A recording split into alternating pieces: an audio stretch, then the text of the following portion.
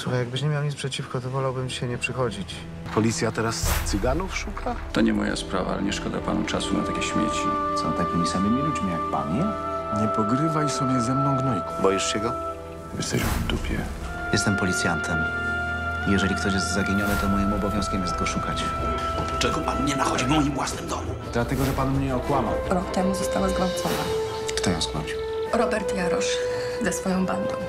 Widzisz? Ważna informacja. Spider pokazuje nam, że chce z nami współpracować. Dobrze wie Spider? Kim według Ciebie może być duży pan? Ma pan taki obowiązek, żeby powiadomić mnie o wszystkich swoich działaniach operacyjnych, jakie zamierza pan prowadzić na podległym mi terenie.